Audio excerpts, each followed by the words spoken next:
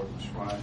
Thank you, Chairman. Um, We will start off just reviewing the target market study. We'll have that final um, presentation done by Market Street on August 30th. So the work group will reconvene at that time, and we'll have the information presented to us then. And um, just, uh, you can look in your summary and see some of the activity. We've been to Atlanta to meet with leadership and project managers, site consultants as well.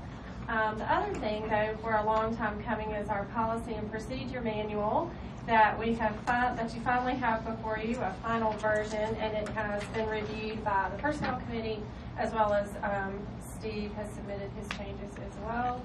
Um, we're glad that it's finally here. I'll turn it over to the Personnel Committee, um, Mary and Norman. Thank you for everything you did, and the hard work that you put into it. Do you mind? Do you mind? If Norman, Norman, you chip in if I don't say I anything will. appropriate. But, um, yes, as the spokesperson for the Personnel Committee, we'd like to ask the, uh, board to approve this manual as you have, we have sent it out to you actually a couple of times, just to make sure you have the latest wording. And we've, our attorney has been so kind as to go through it from a legal aspect.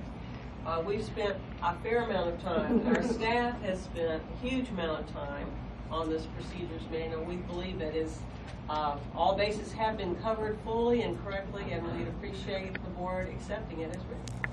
I will I'd like to say that I, Mary did a, a great job, basically proofreading, making, uh, grammatical corrections and wording and things like that. I, I basically looked at content, and I'm not the best proofreader, but she did an outstanding job of getting everything, the I's dotted and T's crossed, things like that. And I enjoyed working with her.